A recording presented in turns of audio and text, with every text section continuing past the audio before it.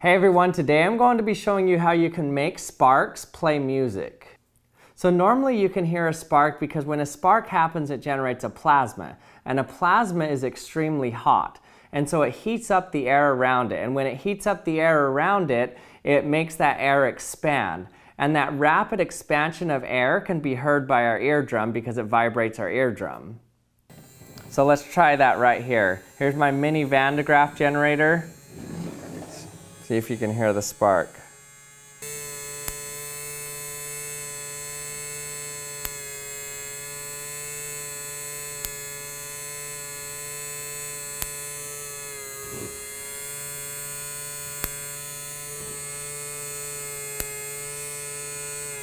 So that spark that you hear is just one pressure wave hitting your eardrum.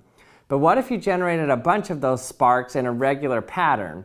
Well then you'd hear a tone. But the problem is with a Van de Graaff machine, the sparks are pretty sporadic.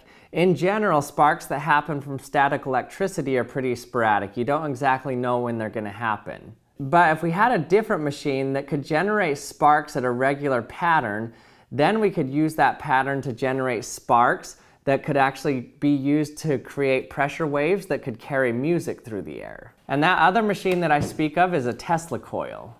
So a Tesla coil's sparks aren't generated with a direct current like a Van de Graaff machine. They're generated from a very fast alternating current, usually between 20 to 100 kilohertz. So this alternating current can create very high voltages at the tip of the Tesla coil. And what happens is it generates a very steady stream of plasma where you can kind of hear a buzz of all these sparks going off and it sounds just like this.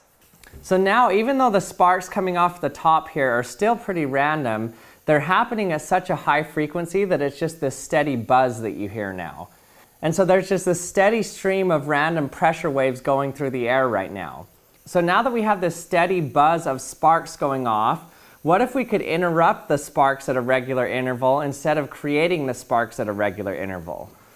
For example, I can make sound just by interrupting the signal. So when I put my hand close to the Tesla coil, the, it steals some of the energy so it doesn't generate as much plasma on top. So basically I can interrupt the plasma on top just by putting my hand near it. So my hand acts like an interrupter. And you can see that you can hear it now.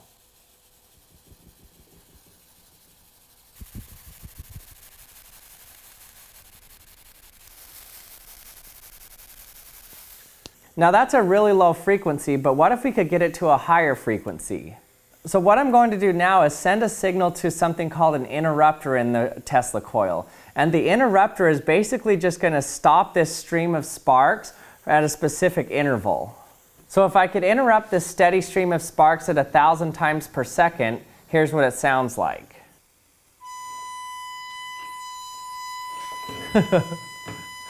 So not very pleasant, but this is now being interrupted at a thousand times per second, and we can easily hear it now.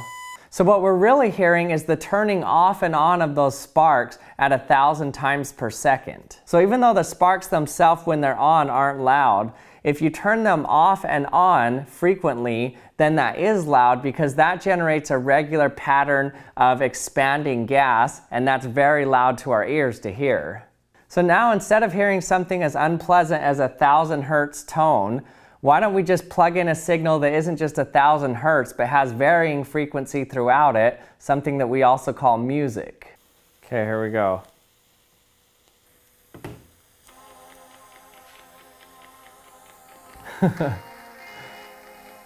so this sound is actually coming from the sparks. There's not a speaker in here or anything.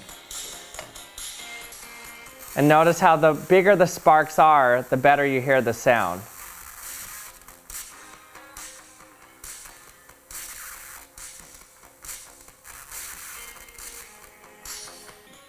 Now what's even cooler than this is what I can do now is now that I have this electrical signal coming through here and generating this spark,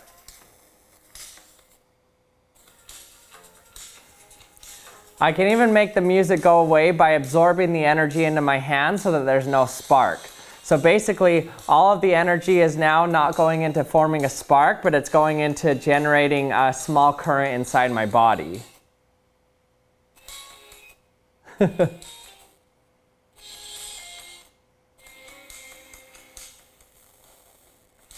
I can also do the same and light up this light bulb so the energy doesn't go into the spark but lights up the light bulb.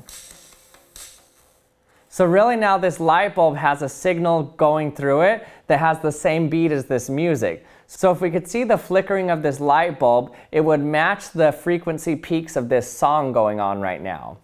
Now in order to do that, I have a device here that lets you actually hear light. So what it has on here is it just has a solar panel. And the solar panel is connected to a speaker so that when you get a, a spike in light, it generates a little pulse on the speaker. And if you get a regular pattern of light going on, then you can generate a tone. For example, if I just have a blinking light like this, you can see you can hear it. If I turn up the speed,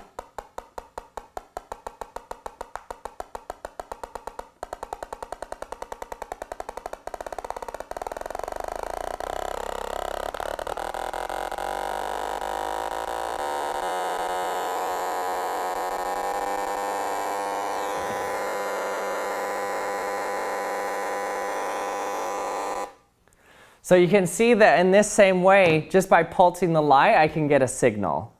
So now when I hold this light next to the Tesla coil and then listen to this speaker, we should also be able to hear the music. Let's see if it works. Okay, we have our music playing now.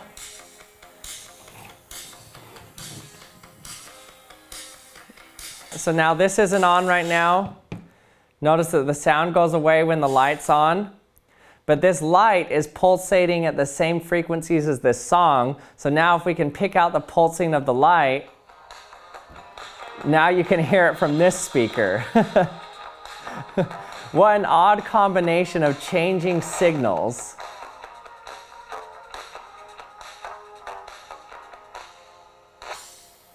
Now the sound's coming from here. Now the sound goes away. Now it's just turned into light, and now if I pick up the signal from the light and turn it back into sound. this is so cool.